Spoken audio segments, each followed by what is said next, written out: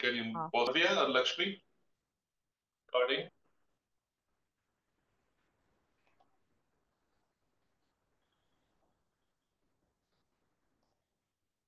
Yeah. So continuation to what I was speaking about it. So on behalf of behalf of National Elec- National Federation of Engineers for Electrical Safety, I would like to welcome you all for joining for today's important and timely webinar because electrical fire are significant concern in India. So I want to give you a little bit of data. There, there are around 1,943 electrical fire incident in 2020, which accounted for approximately 21% of the total fire incident that year. The recent data on electrical fires in India highlight growing concern, particularly due to short circuit. From July to December 2023, India reported 112 electrical fire incidents, resulting to 131 deaths and 164 injuries. This these are residential and commercial buildings which are affected. So electrical short circuit being the leading cause, almost 58% from these cases. Another very interesting part, if you look at NCRB saying that over 1,000 crore or more is the lost property loss. The, this figure including damage to property, homes, factory, and commercial. So 1,000 crore is lost due to electrical short circuits, various fire. Actually, these figures are quite less when you compare. Actual figure should be much more than this, but this is the NCRB data. So these incidents, the recent fire happened, one in Andhra Pradesh, another one in hospital, another one in hospital in Bangalore very recently, and another one just week back in Hosur, major fire. So this is actually made us to talk about fire due to short circuit. What is it? If you see our conventionally, we always blame overloading, wrong connections, wrong, um, you know, design and all that. But there are something beyond that. That's what we want to talk today. New findings and protection against thermal effect. So we have Gopakumar, the president of NFE, who has been forefront of promoting electrical safety standard in India through NFE. He has traveled in the last 18 months, he traveled length and breadth of the country and did over 28 workshops. Workshop for National Electrical Code of India. I was fortunate enough to travel along with him to understand the psyche of the people. How much are they learning out of all these workshops? And Mr. Gopakumar has done over 300 webinars since COVID time. And when we do the statistic, how many people we have touched through this educational webinar, it is more than 50,000 people have been attending various webinars. All this happens because people like you, whenever we announce a webinar, very positive. I'm also very proud to say our average registration of webinar is almost 450 to 500. There is no commercial interest in our uh, webinar. There is no, there is no product promotion in our webinar. It's purely learning, sharing, and experience what's happening around us. So let's know what our uh, uh, president, Mr. Gopakumar, talk, going to talk about um, today's topic. You'll be sharing valuable insight and recommendation, especially focusing on National Electrical Code of India of 2023 and IS 732. Before I move on to the subject, you know, I would like to make you understand that we have an association, non-profit organization called NFE, National Federation of India for Electrical Safety. Again, this is born out of the curiosity, the interest shown by many engineers across the country in our webinars which started from COVID times. And there was no association for electrical engineer, the improvement of electrical safety. So in the year of 2022, end of 2022, we started NFE. And today, I'm so happy to say we are one of the fastest growing society in India. And we have over 1,500 members with seven chapters across.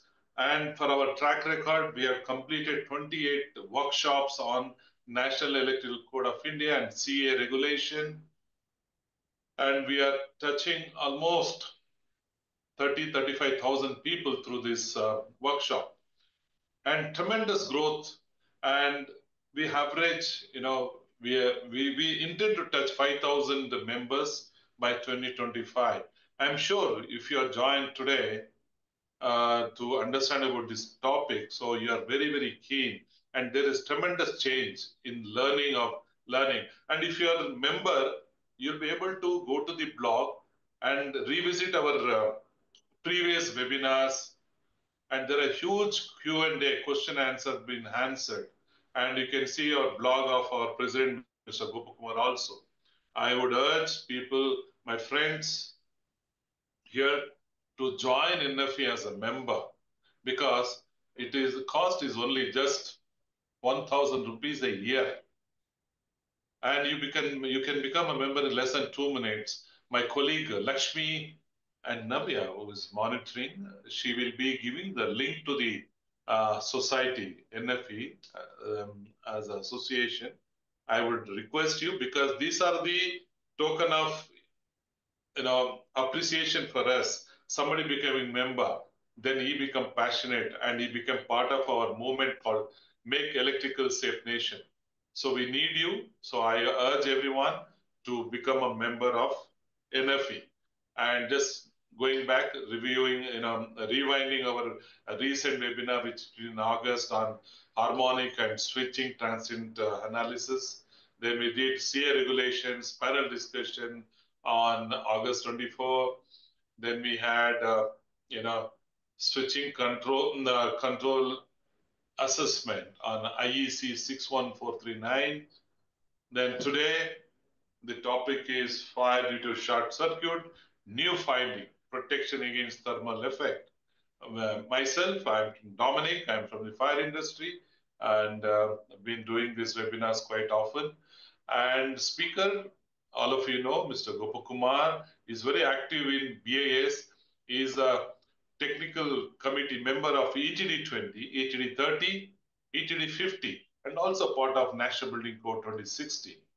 He's quite active in IEC, TC 64, TC 81, SC 37A. So he's a quite familiar face. Uh, don't need I don't need much of uh, introduction to be given. And actually, he's unwell. You know, his throat, he has a throat infection. And uh, today, after maybe four or five days, I'm able to see him on the screen, and hopefully, he will talk. But mind you, please put your relevant question only in Q&A box, and your question should be related to today's topic. Okay, so we will be taking only maximum 10 question because of his, uh, uh, you know, uh, health reason. We will not be, you know, we'll try and close this whole session by one hour, 15 minutes. Max is one hour, 30 minutes. So thank you for joining once again. We have a wonderful audience today. And I welcome Mr. Gopakumar to uh, take off from here. I will unshare this screen. I'm already Thank you, thank you very much, uh, Mr. Dominic, for the nice introduction. I hope my sound is clear. Yes, yes. Even though, you know, I'm trying to talk as low as possible because my throat is already half gone, only 50% is efficient now. yeah. So let me share the screen. I, I hope the screen is fully visible now. Yeah, it's full, sir. Yeah, I would also like to close the video, which will be better. Yeah. So today's topic, uh, we are uh, uh, going to talk on protection from thermal effect. Uh, you know, it's a big subject. explaining the whole subject of handling thermal effect in an electrical installation in one hour probably is a very difficult subject. So generally we make presentation in two ways. One is cover the entire subject, touch up the entire subject so that the whole subject is covered. But then people only understand the like an introduction of the subject. Number two, take one of the subject and go deep into it. So today, I will be more talking on fire on electrical equipment or the electrical products more. Once when we go deep, then you'll be able to understand. The subjects are covered, uh, taken from the National Electrical Code of India, NEC, uh, 2023, also from IS 732. You see, in with these committees, ETD 20, we are making a lot of standards and we are educating the whole market, the whole electrical engineers community to make safe Bharat. We are spending time, we are dedicating our time for Uh, uh, you know these awareness programs. But unfortunately, most often, sometimes the government fails to appreciate it and government try to make dangerous installation. This also is a subject sometimes we need to speak. One side we are trying to make safe nation, but on the other side, sometimes the governments are trying to make unsafe situation. That also I will try to touch up at the end of the presentation. So protection against thermal effect is explained in clause 4.3 of IS 732. So I put as chapter 4, but unfortunately, you know, the presentation is uh, totally for more than 1000 slides. So uh, today we are going to talk only about protection against thermal effect. Now, generally, when we talk about uh, thermal effect, we don't use the word thermal effect. We say fire. In electrical engineering or in an electrical installation, there are preventative measures or preventive measures means the measures, the safety measures which has to be implemented in, in an electrical installation, which will work before ignition of fire. The problem is fire is after ignition. Why electrical appliance or electrical installation should create fire is the question we should ask. So the preventive measures talk about the measures which we need to implement in an electrical installation, which will work before ignition of fire. Examples are avoiding ignition of fire from electricity. These measures are preventive measures. It depends on the design, selection, erection, and verification of electrical installation, periodic verification, maintenance. These are the subjects which we need to focus once when we talk about protection from or once when we talk about preventive measure. All these subjects are explained, the preventive measures of protecting electrical installation from a thermal effect is explained in NEC or IS 732. Please note that the word used is thermal effect. The meaning is under normal operating condition, electricity or a current using equipment or the electrical installation shall not produce a temperature which is more than the capacity or more than the withstanding capacity of the equipment or more than the capacity of the environment. So the temperature itself has to be limited by various measures so that the chance of ignition, the ignition or the protective measure, these are after. Protective measures are after the ignition of fire. Protective measures such as smoke detection, fire detection, fire suppression, and the reduction measures for smoke or fire, extraction, fire drills, means of escape, access. All these are protective measures, but after the fire. Whereas when we talk about uh, thermal effect, we are talking about the measures which has to be implemented before igniting, ignition of fire from electricity. Unfortunately, in one of the recent fire accidents uh, happened in uh, Chennai, in one of the factory, the reason which the media reported is the operator forget to switch off the switch, the, the, the switch to a small appliance or for a small test setup, the operator forget to switch off the electricity, which resulted in a fire which resulted in two days shutdown of the factory. So if you go deep into it, this is not the correct way. Every circuit should have preventive measure. Once when the temperature is going more than certain limit, the preventive measure should act and it should disconnect the supply. Automatically, it should disconnect the supply. That is how it is. And uh, here the subject is most often, we very rarely talk about the preventive measure. When we talk about fire, we always talk about protective measure using more and more sprinklers, detection, and all these things because it's a big business. More fire, more business. Whereas in preventive measure, it's a, it's not only business of the product, but this is knowledge of the designer, knowledge of the installer, knowledge of the person who verify the electrical installation, finally decide how your installation is protected against thermal effect. One simple example is imagine you have a lighting circuit where the total size of the light, the total load is only maybe 2 amperes, 3 amperes. But if you put a, an MCB of 16 amperes and put a 1.5 square mm wire, of course you will be in trouble because you are not conventional system, maybe conveniently what we are putting, maybe, uh, you know, uh, people say, uh, I am using this style 16 amps uh, MCB and 1.5 square mm wire for the last 25 years, no fire occurred. These are not, this is not the correct statement. So each of the protective device has to be designed and selected, erected according to the requirement.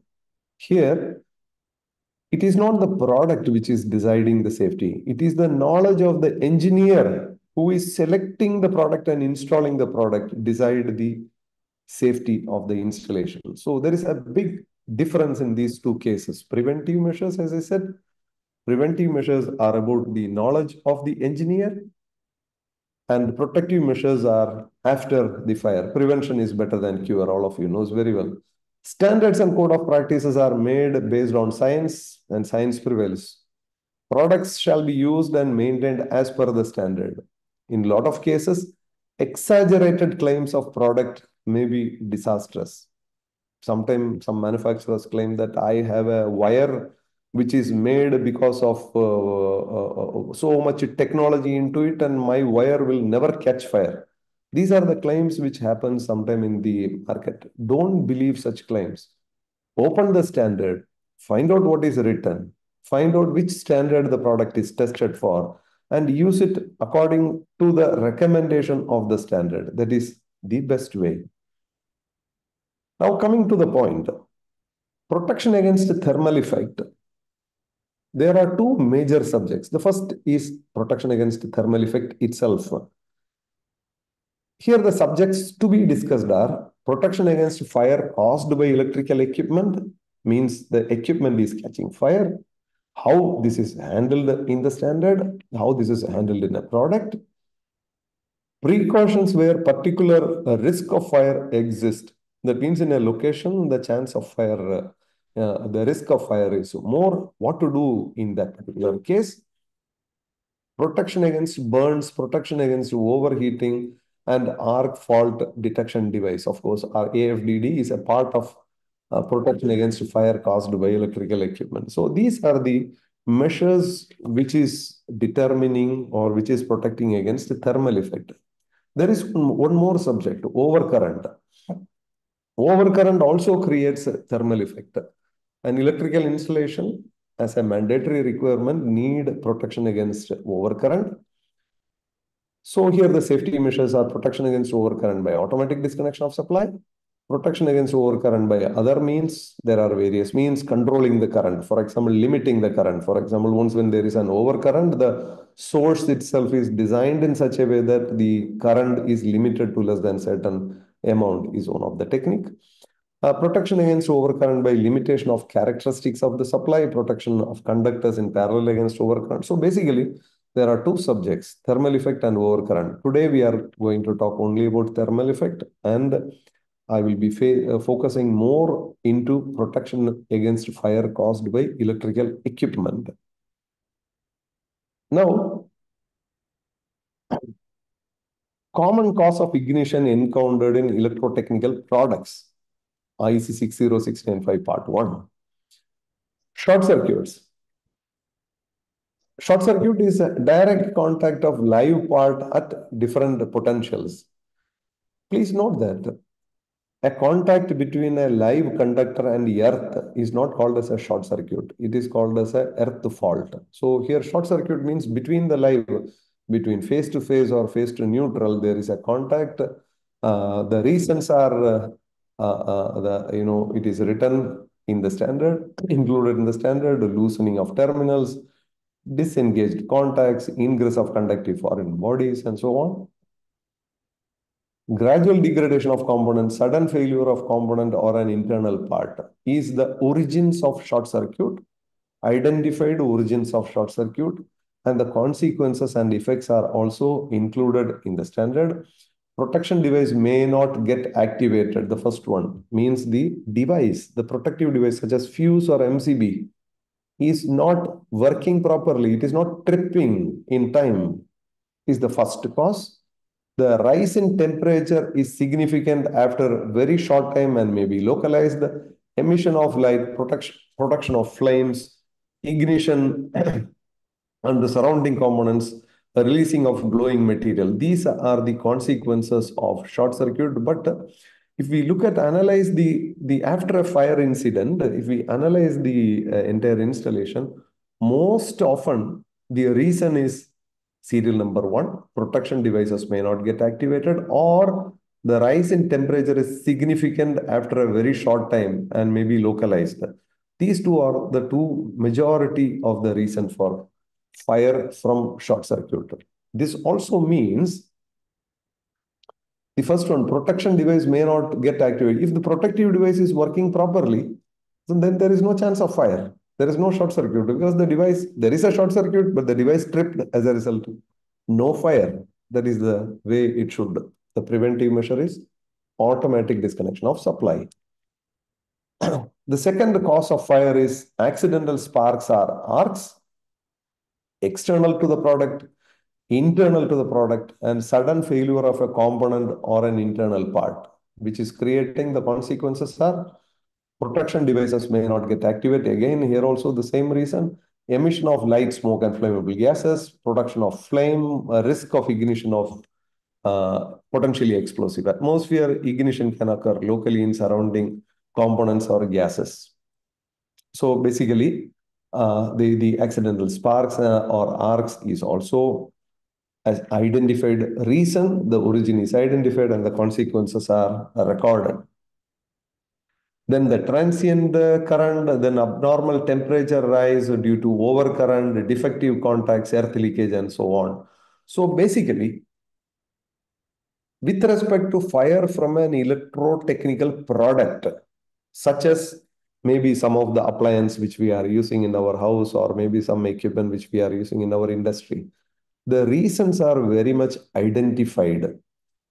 It is a mandatory requirement that the safety measure has to be inbuilt in this particular equipment. Example, for automatic disconnection, there can be a fuse. if, the, if there is no fuse internal, then the manufacturer will tell you very clearly that fuses must be provided external. Example, a motor.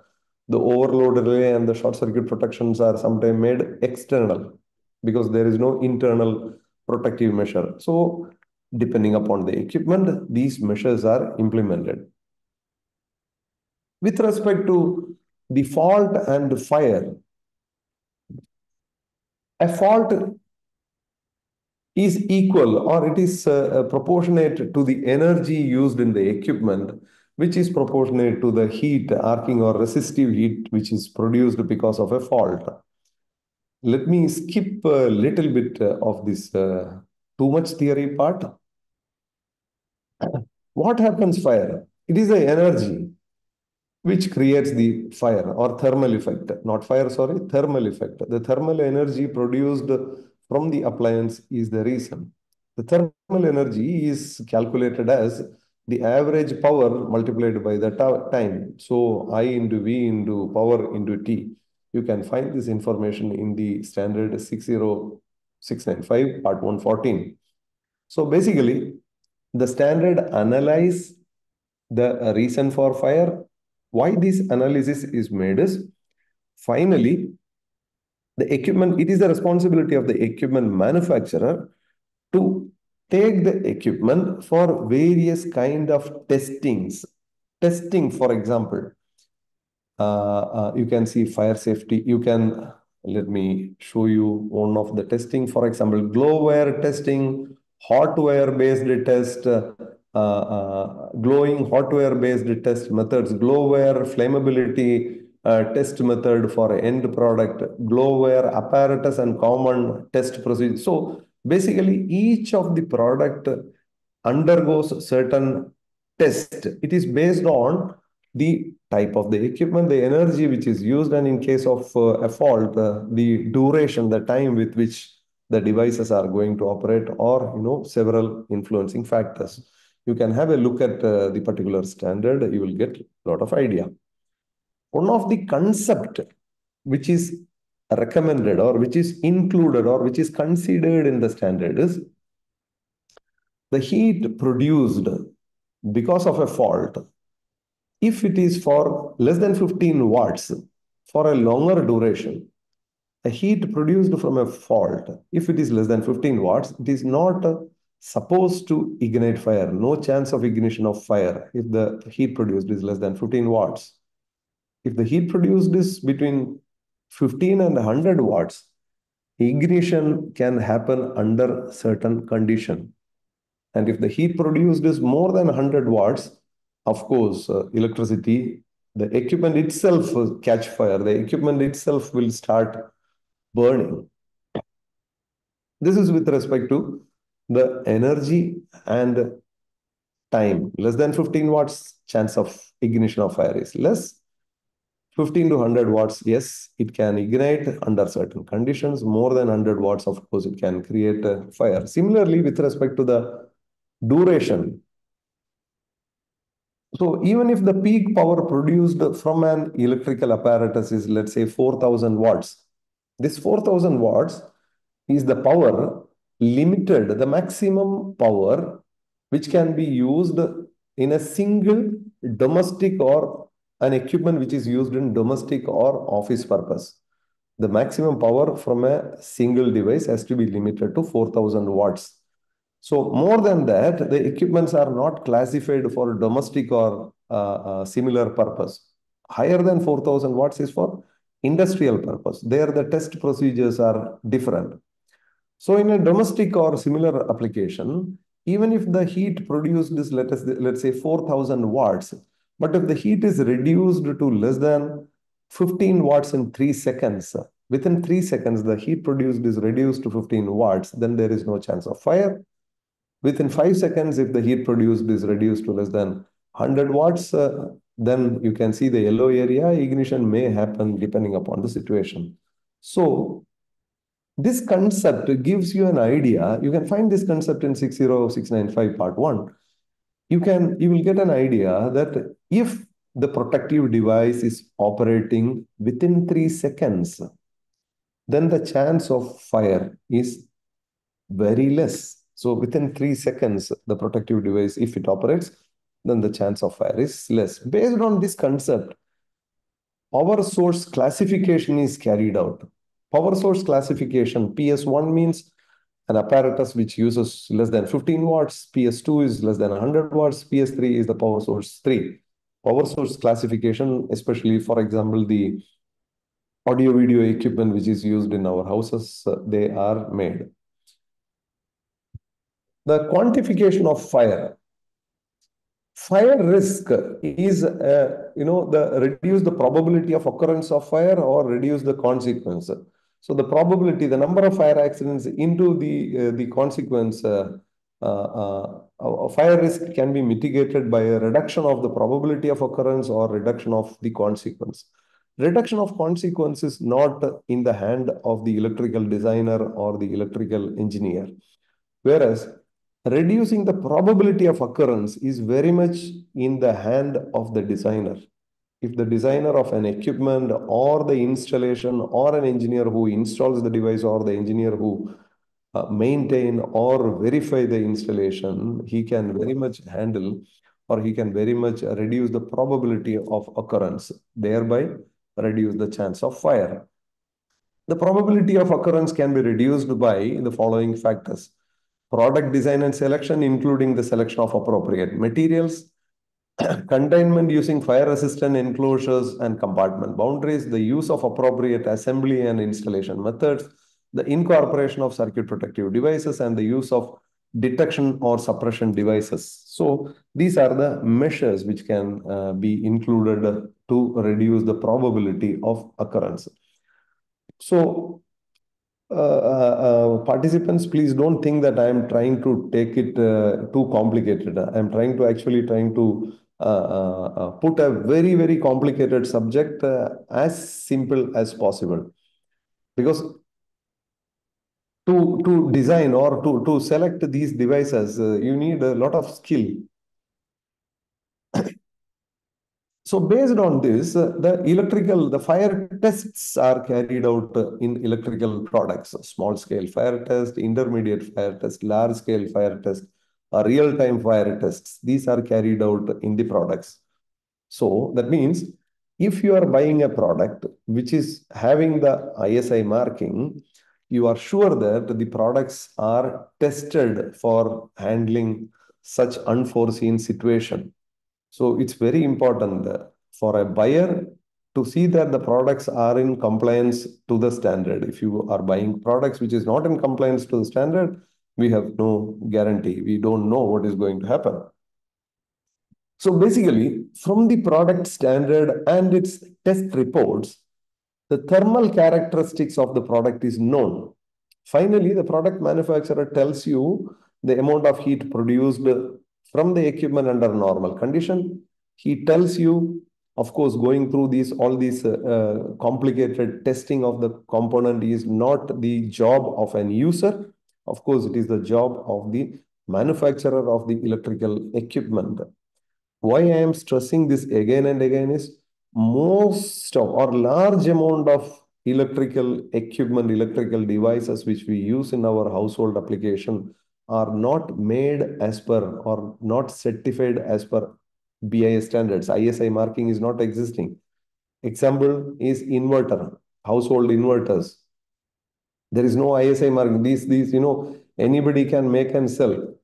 These are probable causes or most of the time the fires are from these kind of equipment. So basically, the product manufacturer should give you uh, uh, the amount of the thermal characteristics of that particular device and he tells you how to install and where to install, how to handle the thermal effect or the heat produced by the equipment if there is any heat under normal condition.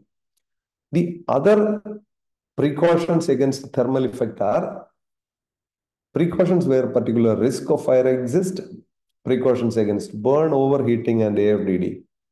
Now, with respect to the equipment, electrical equipment shall not present a fire hazard to adjacent material due to heat accumulation, heat radiation, hot elements, reduction of safe function of electrical equipment, protective device such as protective switchgear, thermostats, temperature limiters, seals of cable penetration and wiring system, overcurrent, insulation faults. So basically, these are the protective measures which has to be or with which uh, the, the, the equipment is uh, able to withstand or the equipment is already having. Now, what do we do? If you know the thermal characteristics of the equipment, the first subject is to mount the equipment in such a way that the temperature produced from the equipment during normal operation is not harmful to the nearby equipment or the nearby environment because each electrical apparatus equipment during its normal operation produces heat. The only point is the amount of heat maybe in one product is very less, maybe in another product uh, it may be more, but due to aging, maybe the temperature, the, the thermal effect is more. From the manufacturer's uh, uh, guidance, technically you are supposed to get uh, these information. So these devices has to be mounted within materials or I don't want to read it. So basically you have to mount the devices in such a way that the thermal effect is not harmful to the equipment. Some equipment during operation produces arcs or sparks. It's, it's, it's inherent property that once when it starts, maybe there is an arcing. So such products has to be put in arc resistant, inside arc resistant material or screened by arc resistant material or mounted at a distance to allow safe arc extinction. So you will be able to get the data from the manufacturer's catalog.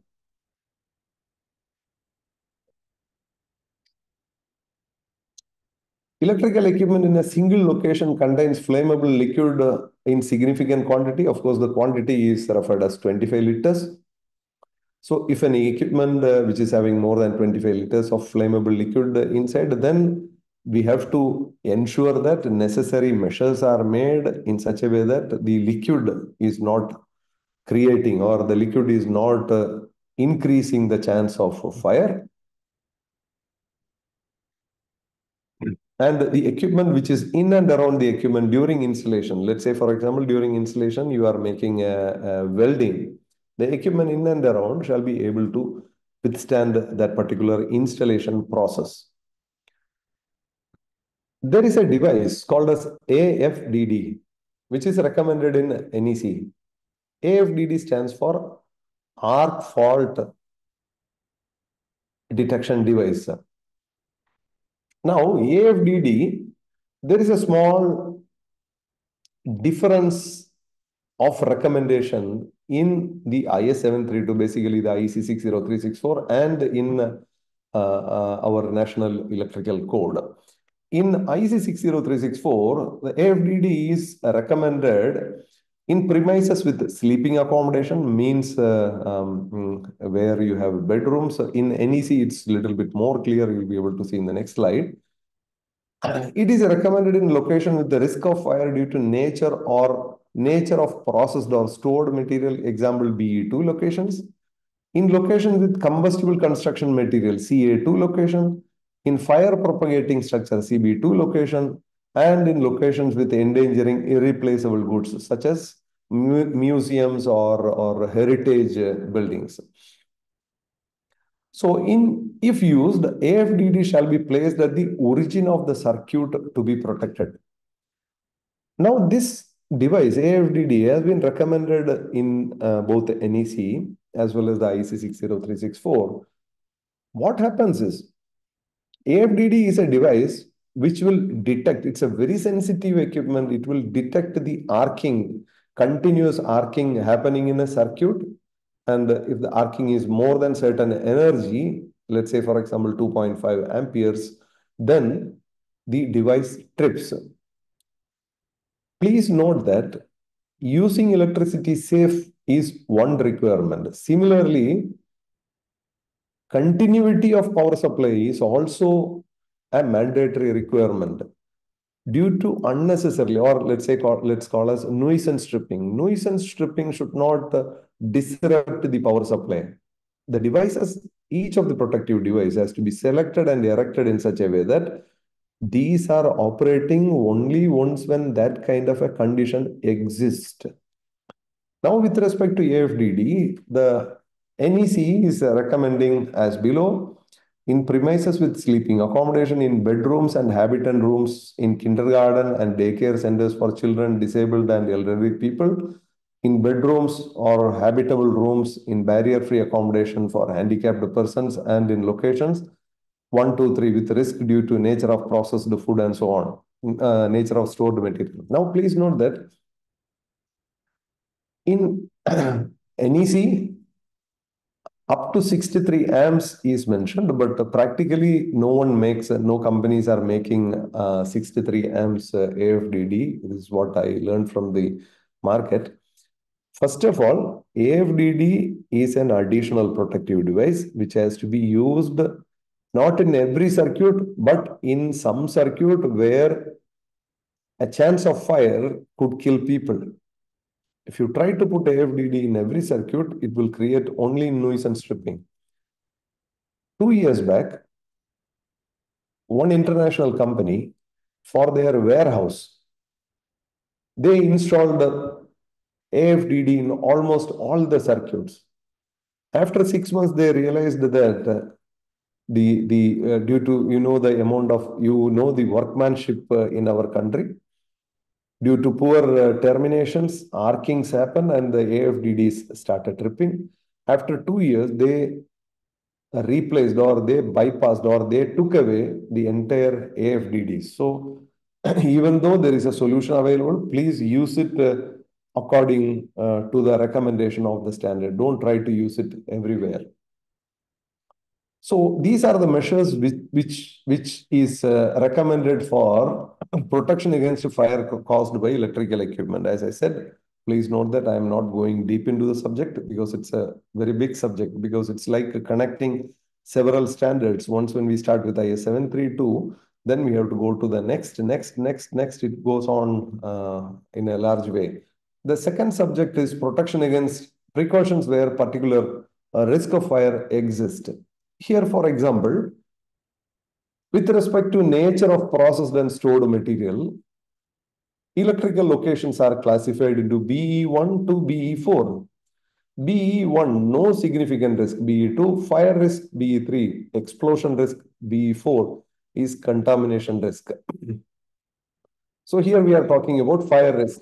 So explosion and contamination is much more serious problem. So this is a uh, you know, it is it is it is much more serious. Now, with respect to fire, for example, in locations where a particular risk of fire exists, the amount of electrical equipment used in that particular area has to be restricted. Don't try to put so many electrical apparatus in this particular area because there is already a chance of fire exist the wiring and wiring in system through which if the wiring is passing through this particular area you have to take care in such a way that the wiring you can see you can read. Wiring and wiring system through these locations are either embedded in non-combustible material. Only non-flame propagating wiring system shall be used. They have no connection along the route inside the location. That means no joints in this location unless these connections are placed inside flame retardant flame resistant enclosure. They are protected against overcurrent. Bare conductors shall not be used. So the last one, bare conductors shall not be used. Let me tell you an example. Several of the industrial or medical areas, let's say hospitals, the condition where the chance of risk of fire is high exists. One of the recommendations of the standard is you are not supposed to use bare conductors. Example, the protective earth conductor. In India, we have the habit of using galvanized iron strip as protective conductor all over the plant. If you use GI strip, which is having joints, bolt nut joints, which is in this particular area, it's a violation of the standard. You are not supposed to use bare conductors. Better is to use continuous conductor, a fifth run, fifth wire for this particular application. Temperature in normal use and foreseeable temperature rise during the fault cannot cause a fire because then you have to have safety measures. Thermal cutout should be manual reset only. These are the safety measures, some of the safety measures which is recommended in locations where chance of fire is more. One concept which is included in the standard with respect to uh, the condition of evacuation during emergency with respect to evacuation, the electrical installations are classified into four types, BD1 to BD4. BD1 low density easy exist, BD4 high density difficult exist. Here, the recommendation from the National Electrical Code or from the IS 732 is authorities responsible for building construction, public gathering or fire prevention may specify which BD condition is applicable for a given building. So it is the responsibility of the fire department to tell that, okay, this building more than this much size, I categorize into BD1, BD2 or BD3 and BD4. Now, the standard tells you the type of additional safety measures required in these locations. Example, in BD 2, 3 and 4, wiring system shall not encroach escape route. You know, several measures are there. I'm only showing you one or two of the measures. Wiring system shall not encroach on escape routes unless the wiring and the wiring system is provided with sheath or enclosures provided by the cable management system itself or by other means. So open wires are not allowed in the escape route, which is, I would say, very common in most of a lot of buildings, especially the government buildings in India. Wiring system encroaching on escape route shall not be within arm's reach. That means it should be even if it is if there is a wiring system in the escape route, it should be 2.5 meters away from the ground. Unless they are provided with protection against mechanical damage likely to occur during an evacuation. The material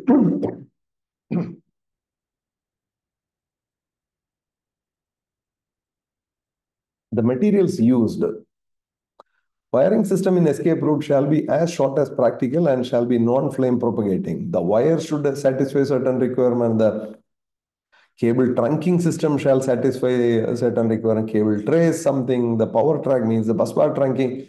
Each of the product which is used shall satisfy certain requirements. Example, the wires which is used during fire condition, the wires produce smoke so, and if the smoke is thick, then you may not be able to see the escape route or you may not be able to see the exit signage.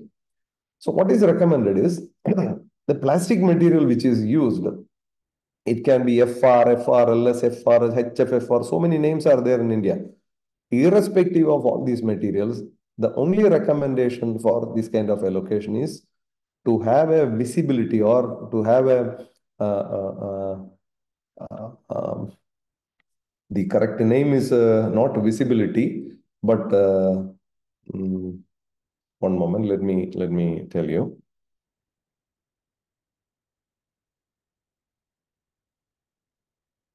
Yeah, the light transmittance. The word used is light transmittance.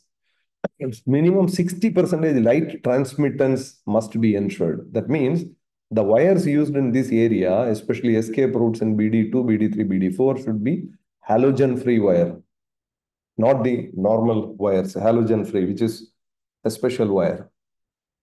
Similarly, in locations BD34, uh, wiring system that supplying safety circuits shall have a fire resistance of minimum one hour or two hours. Okay, wiring system within the escape route shall have a minimum rate of smoke production, 70 percentage light transmittance. Sorry, not 60 percent, but 70 percentage. Light transmittance means uh, the, the uh, uh, smoke concentration must be very less. It should be a halogen-free wire. Similarly, there are safety measures for fire segregation within the fire segregated compartment. Let me skip this. Sealing of wiring system penetrations. There are different requirements for uh, uh, taking care of the installation. One of the last measure to ensure protection against thermal effect is verifying the electrical installation to ensure that the compliance to the standard is made. There are different verification points. Verification starts with inspection. There are about 19 points to inspect, starting with protection against electric shock, which is not the uh, uh, important one with respect to fire, but the second one, presence of fire barriers, other precautions against propagation of fire and protection against the thermal effect. These, it is an ins point of inspection, which is, you can see on the, on the blue 4.3 and 5.2.10 of IS 732. After inspection, different testings are also recommended in the standard. For a normal, this is for example, for a normal location, 10 testings, starting with continuity of conductors up to voltage drop. Of course, PAT is not for the installation, that is for an appliance. This is the recommended testing for a normal installation. For additional, for special installation, such as a medical location or a swimming pool or a bathroom, you need additional safety measures and those additional safety measures need additional verification with the in place, you know, you have to have additional inspection as well as additional testing. Those inspection and testing ensure that the recommended safety measures are in compliance with the standard. These are the, the compliance, the safety measures are very much recommended in the IEC 60364 standard, which is nothing but IS 732 in India, and uh, NEC uh, 2023, which explains design, selection, erection, and verification. Please note that these safety measures are impossible to integrate into one equipment. If somebody comes with saying that, look, I have a magic equipment which offers all the safety measures, is impossible. And if somebody makes a claim, it is because the person who makes the claim doesn't know about electricity, doesn't know how electrical how safety has to be achieved in an electrical installation. By saying this, I would like to take you to the, the next subject, electrical safety, demand from the fire department. Recently, especially in last uh, uh, few few weeks or few months, we are getting a lot of uh, uh, questions or a lot of information from uh, the market about a kind of a device which, okay, I've put uh, two slides, one above the other. Let me show you clearly. The fire department of some of the state, not some, one of the state government started or the municipality started asking an IoT-based microcontroller device shall be tested and verified NABL accredited testing agency laboratory in accordance with the recognized IS 732 2019 standard. As I said, someone claims that I have a product which is made in compliance to IS 732. Basically, it's a foolish idea. IS 732 is not a product standard, it's an installation standard. It tells you how to select a product, how to use a product, how to install a product, how to verify a product. Now you see this, the complete installation IoT-based microcontroller device must be used. And now the fire department of the state government is demanding every consumer to install IoT-based device, then only the fire uh, uh, fire license is provided, then only you will get fire license for this particular uh, device. And they say that it is based on the a notice, based on a notice issued by the energy department. You can see here 2021 114 Energy 5. If we look at this particular notice from the government, 115 from the energy department, the Annexure 1, serial number 8, it talks about an IoT-based device which is offering all these protective measures, protection to minimize risk of arcing, and you see this 14, 15 protective measure. I'll show you an English version. The government notice says, according to the Central Electricity Measures Relating to Supply Regulation 2010, to maintain safe electrical installation and prevent short circuits and other electrical faults that could lead to accident, it is necessary to accurately identify sensitive factors that could cause electrical failure. To achieve this, various protectant system must be integrated into electrical installation and regular interaction. These protective measures should be, you can see here, protection from minimum arcing and the, then the final is asymmetric load.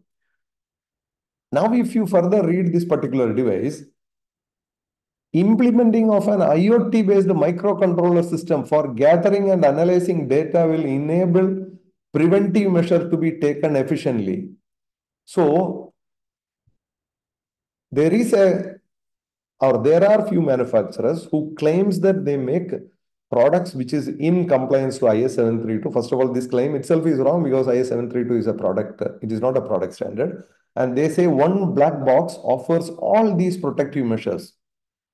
So the energy department made a notice saying that there is an IoT based device. Haha, very good, you install. Then the fire department says, okay, based on the energy department, you install it everywhere. Then later the energy department says that every electrical inspector should ensure that this device is installed in all the high-rise buildings. So basically,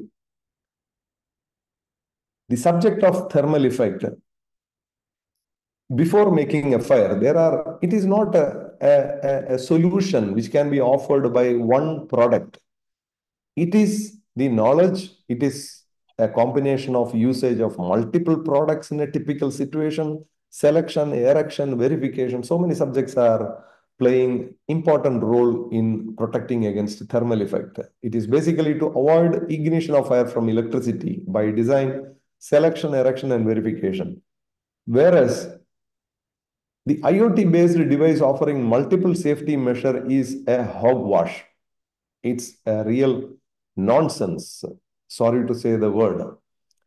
The subject serial number 8 in the government circular 2021 is an example of no knowledge on the subject. I would repeat, the, the, the, the department who has made this particular circular, they have no basic idea of what IS 732 says or what NEC says. Sorry to say that.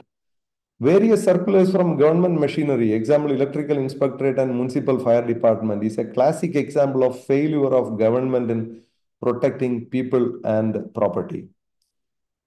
By the time you realize that this IoT-based device is a hogwash, it will be too late. So be careful with products with exaggerated claims. So this is protecting the installation from uh, thermal effect. Thank you very much. I hope I could give some information about uh, the the electrical safety. Sorry for the last part because we are putting lot of putting lot of time, energy, money, and efforts to educate the market in one side. On the other side, somebody coming and now IS 732 is popular. Somebody coming and saying that, look, I have a box, black box offering IS 732. Then everybody buy and put this particular device. This is really nonsense. Thank you very much. Uh, and thanks, Mr. Dominic. Thank you, sir. With a very strong message uh, to the audience you know, black magic box which can prevent fire, you know, putting uh, IoT in it. What does it say? It'll tell you that yes, there are problems, but does it prevent? That doesn't say. So there are a lot of gimmicks. Uh, The funny sir. part is, the funny part is, it says you will get an SMS. That means I installed it in my house. Somebody is getting a shock. By the time I get the SMS and open the SMS, what is the status of the person who got the uh, got the shock? Uh, it's like uh, while driving the car on the road, it'll say, you know, go at 80, but you got 120. And uh, it doesn't assure you that going 80, you still be safe, and 120 going is still safe. So it is just, uh, I would say, you know, misuse of IO word called IoT in the name of IoT. You know, preventing fire is it possible? Truly possible? That's what the discussion today. Uh, the effect of short circuits beyond short circuit what it is. So we have a very good, um, you know, uh, I'm happy that uh, we've got a very good response and people are still waiting and we'll take, uh, it's five o'clock, exactly one hour since we started. Mr. Gopakumar took exactly 45 minutes. That is what he promised. So we'll pick up only the relevant questions that is there. And a few people have raised the hand, but uh, I will take three hands. Let's me see uh, whether Mr. Gopakumar able to uh, answer those questions. So, Lakshmi Narayan, I think you got the answer from the presentation. How can we prevent short circuit at home? That is already clearly mentioned. Uh, you want to take up that, sir, or uh, can we skip that? Yeah, I can, I can explain. See, it is by proper selection of materials, proper erection of uh, the different uh, uh, different electrical materials. Then you have to test it before using, and you have to periodically test it. So selection, erection, design, selection, erection, and verification. So if you do these uh, subjects properly, of course, you get uh, a very safe electrical installation. As I said, the most often, one of the big problem which we see in the industry is oversized protective device. People only talk about uh, big short circuits, 25 kiloampere, 10 kiloampere, 30 kiloampere, 40. Nobody talks about the minimum current which is required to trip an MCB. So please look at the sizing of the protective device very carefully. You are on mute, uh, Mr. Dominic. Our chapter president of Mumbai, NFE, GS Baveja sir is asking, out of three type of fire test of electrical product, which which shall be chosen as part of tech specification for an electrical equipment. Another point is whether it is mandatory for ISI mark product to undergo such test. Many times it is type tested, batch tested, other indication are mentioned. Kindly explain, sir. Of course, uh, these are type test. During the design itself, uh, they have the manufacturer has to test it. Whether the manufacturer is actually doing the test or not is a subject I am still trying to uh, find out because uh, very limited facilities are there for this kind of test. Of course, all the leading manufacturers, the big brands uh, where the products are ISI marked, they actually do the test. It is not one or two tests. It's a sequence of tests.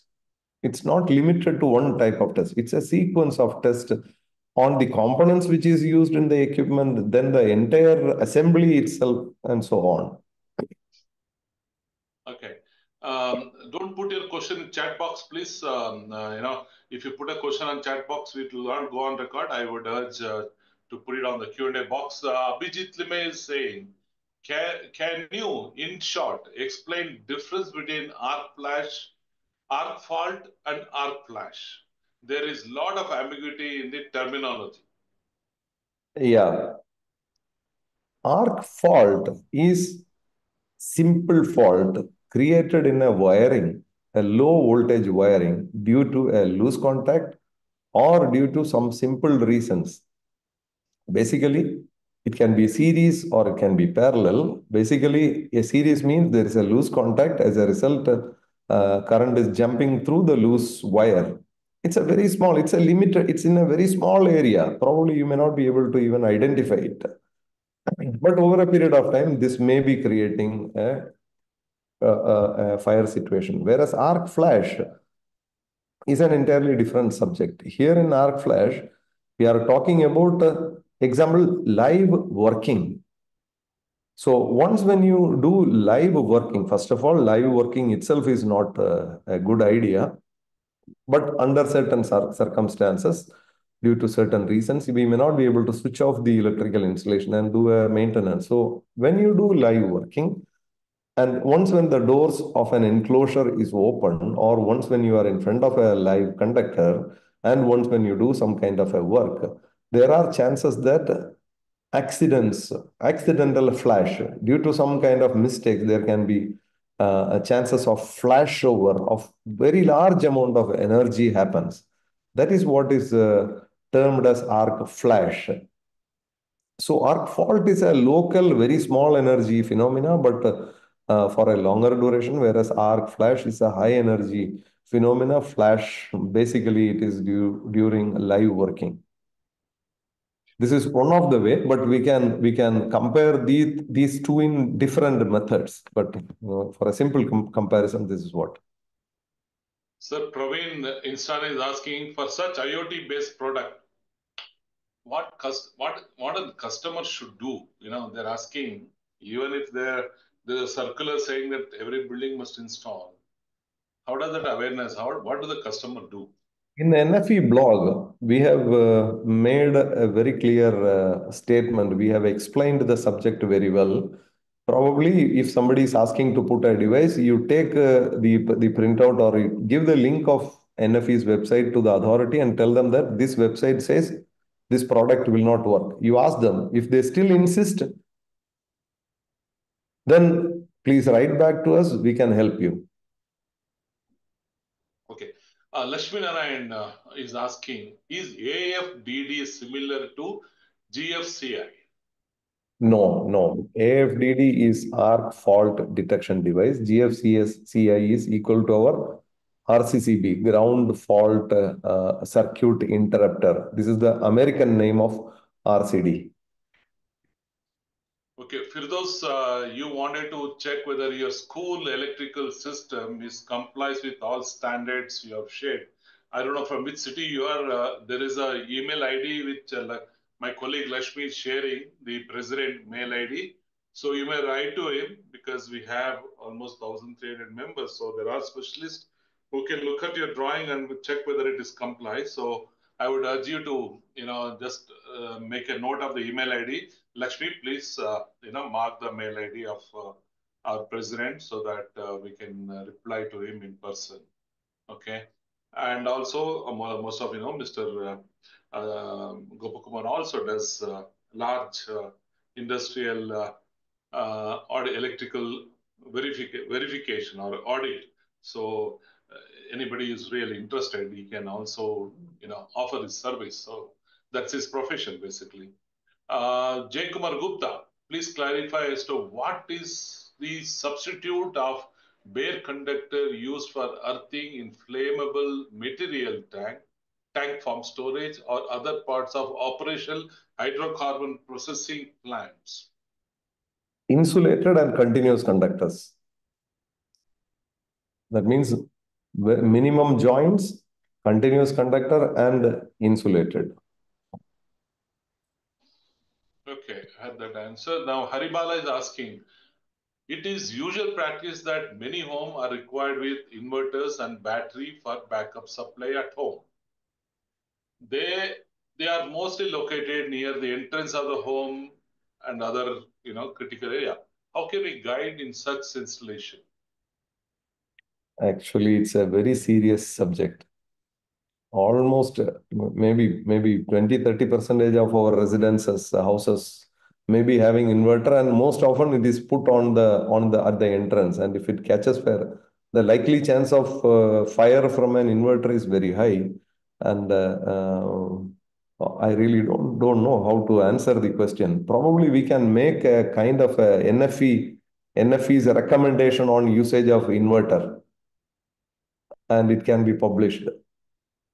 I hope it. it's, Uh, it's uh, a subject. I think Haribala is there and a lot of people, but there are a space constraint. Um, you know, a lot of people are, are tenants and all that.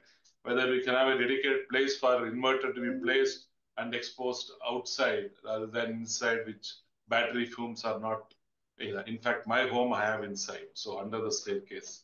So uh, you know, it depends. If there's a guideline, uh, like as I said, if there's a guideline where how to install inverter, where to install, where to position, and in case there is a heat generated, how do you au- automatically switch on the fan or something?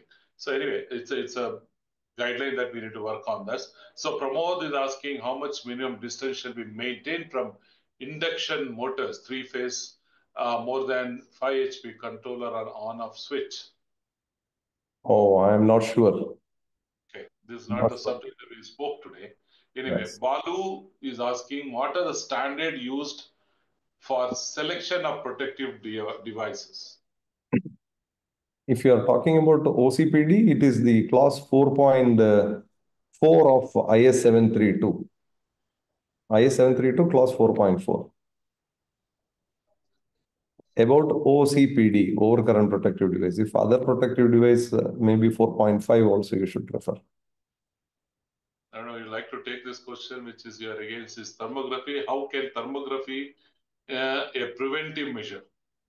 Thermography cannot be a preventive measure. Thermography can be a maintenance uh, measure. During maintenance, if there is not only thermography, you can find out hot spots by using uh, either a thermo, thermal imager or you can also use the uh, uh, the IR thermometer. So both thermometer as or thermography can be used. It will tell you the hot spot and uh, uh, generally you have to uh, reduce the amount of heat produced in the hotspot. But if your installation is in compliance with NEC, the 19 inspection and 10 test, which I already explained, if you have already carried out uh, these 10 tests as per the recommendation of the standard, then there is no chance of hotspot. So that is how it is. If there is no chance of hotspot, so you know, creating a purposely, you know, you make a mistake and make a hotspot, then try to detect it and try to do, do something is wrong. While making the installation itself, you ensure that there is no chance of hotspot. That is how these standards are made.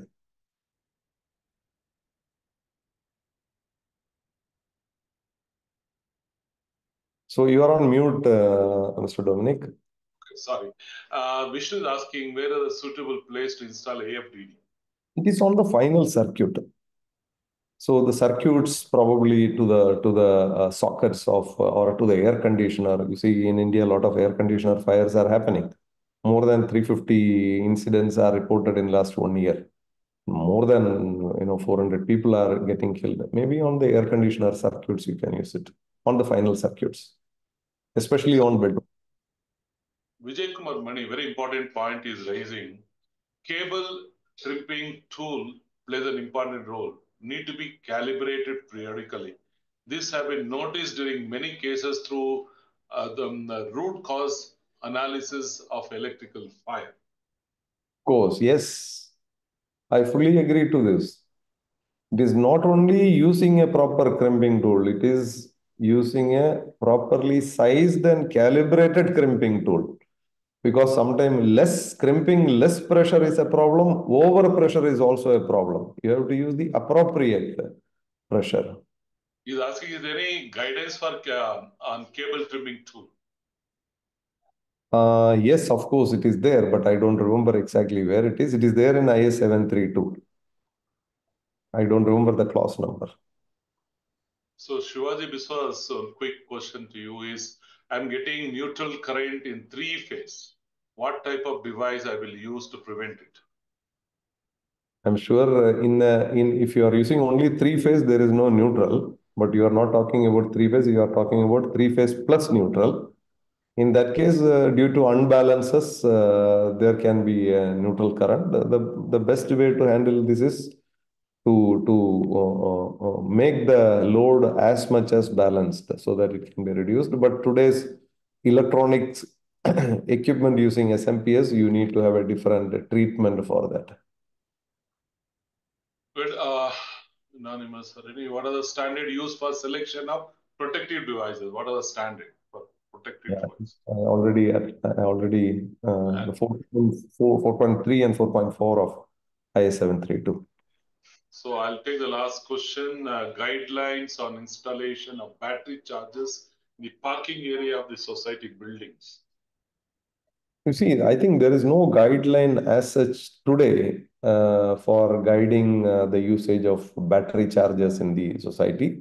We are trying to include this in the upcoming national national building code. A lot of discussions are going on.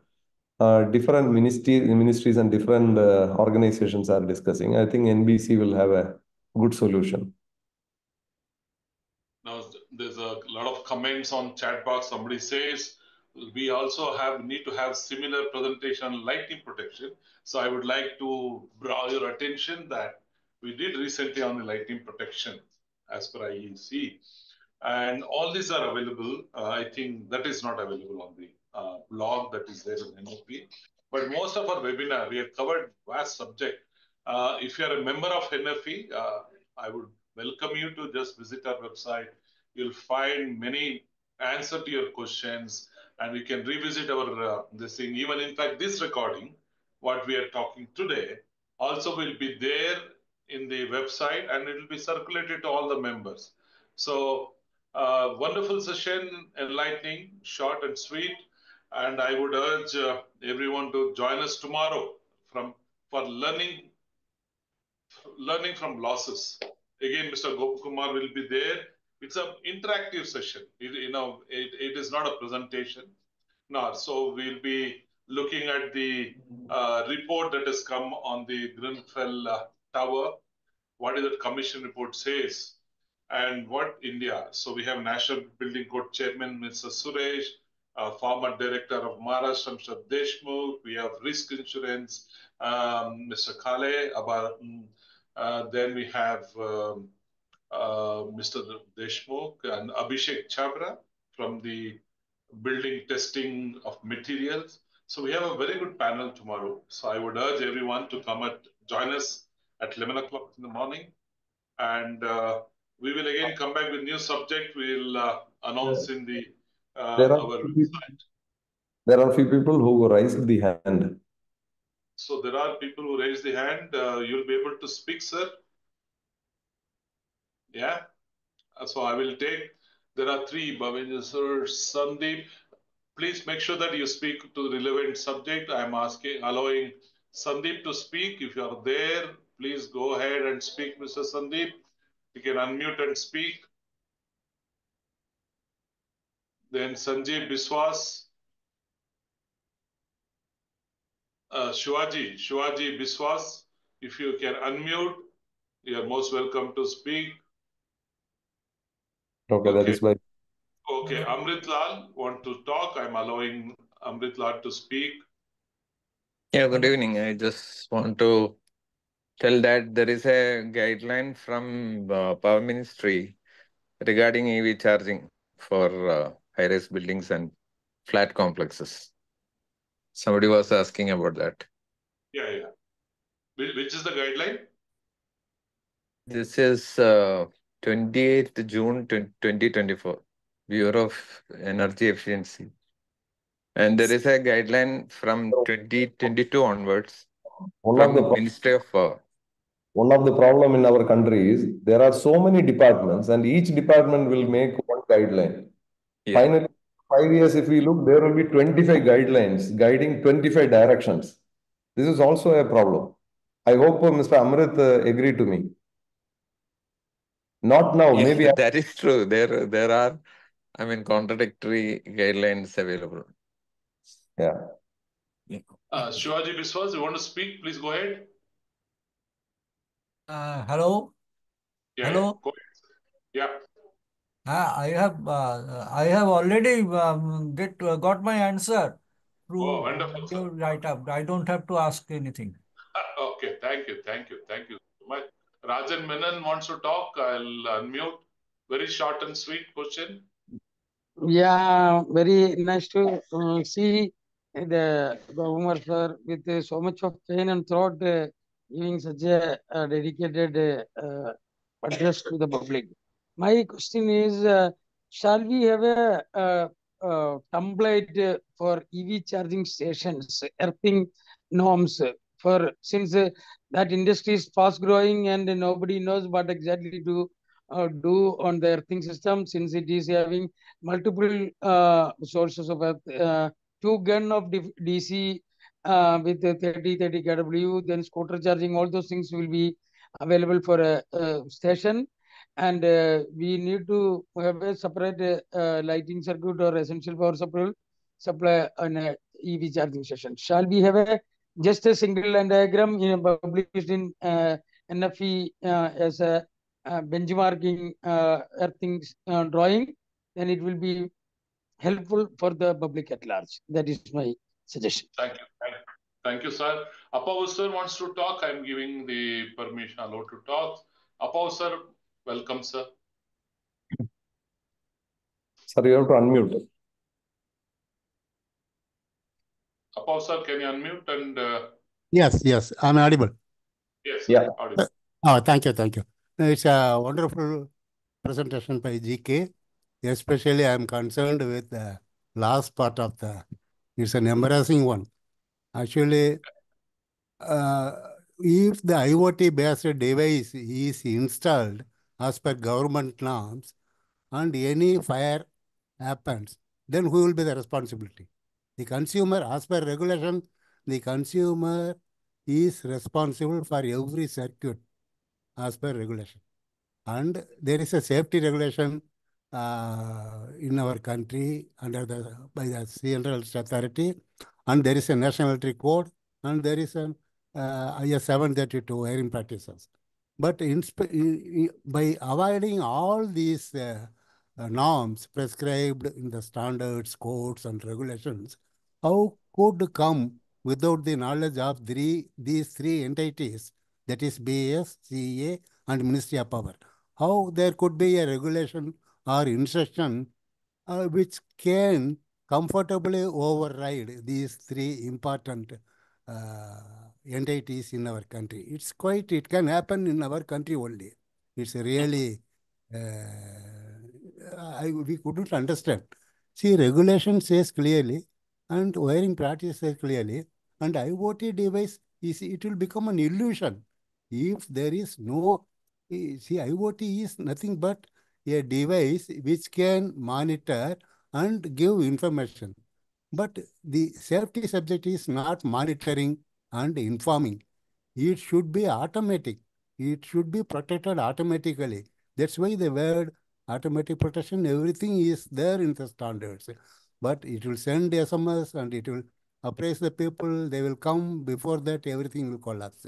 So what we can do, the consumer can provide this illusionary device and they can claim if anything happens, the person, the department, the ministry which issued these instructions will be responsible, not the consumer.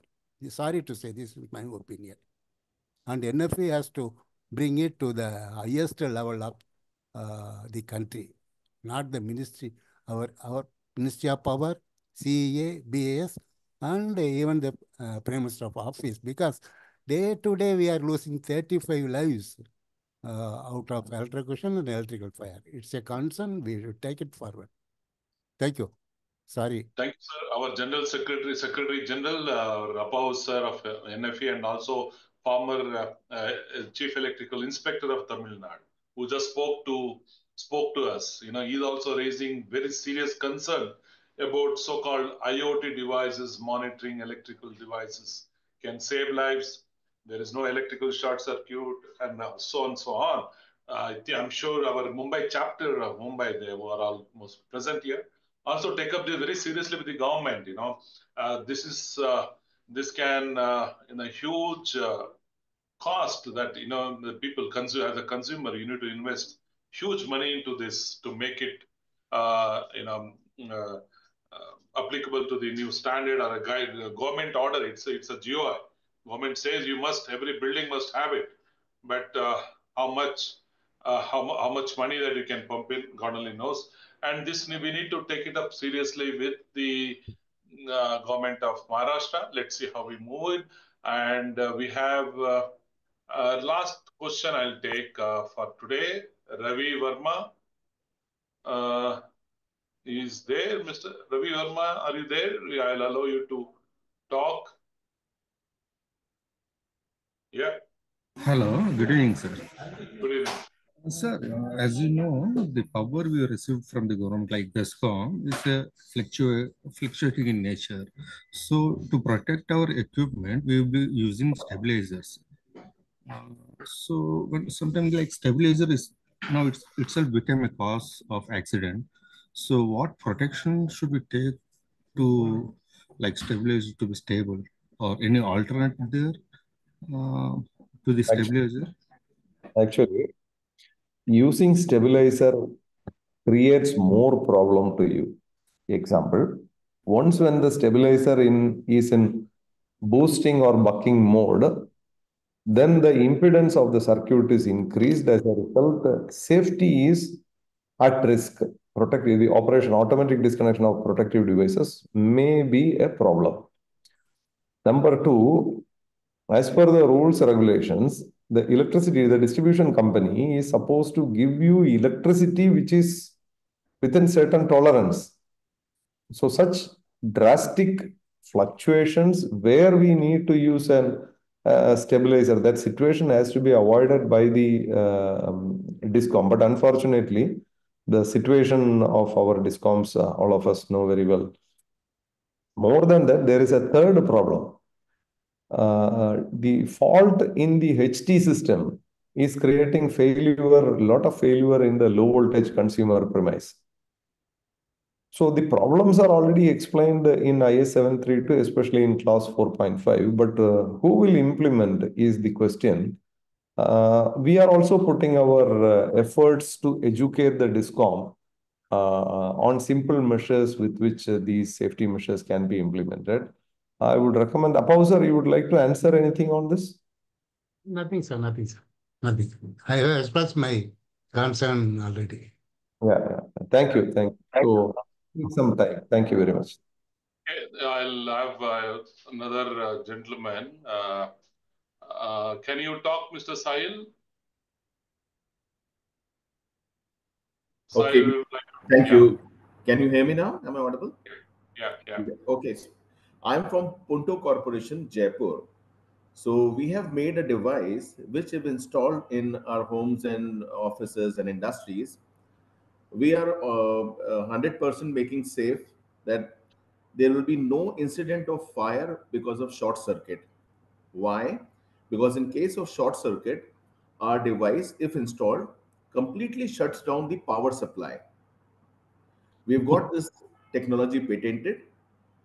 And there is one more aspect. Once this device is installed, in any man, you are not Device.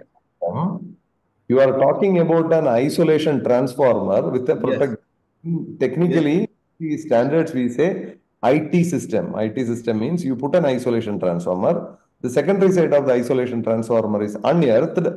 As a result, even if somebody touches a live conductor, people don't get shock. This is not technology, and there's this is this. If somebody gave patent to this particular device, then we have to really look at the capability of the patent office. This is this is nothing new. This has been there in the science since uh, the invention of electricity. So during the invention, during 1880s, the system used is IT, unearthed system. So then they switched over to earthed system due to the problems of double fault. So don't say that this is an innovative system or this is a this is something special. This is basically an IT system. In electrical technology, we have earthed system and unearthed system. You are creating an unearthed system. Now, if you are properly rating your MCBs and uh, protective devices, of course, in case of uh, any abnormality, it should trip. So there is nothing special. I hope you understood. These things can be explained to a house owner who doesn't know about electricity, but it would be please restrict in explaining such things to an engineer's forum. Thank you very much. Okay, sir. Uh, it's a wonderful interactive session at the end we had, and uh, uh, we will come back to you with our next topic very soon. And uh, Evening, sir. I would add, I would like to add one more uh, issue. I think these kind of these patented and fashionable no shock, no fire things, these foolish things are actually spoiling our market.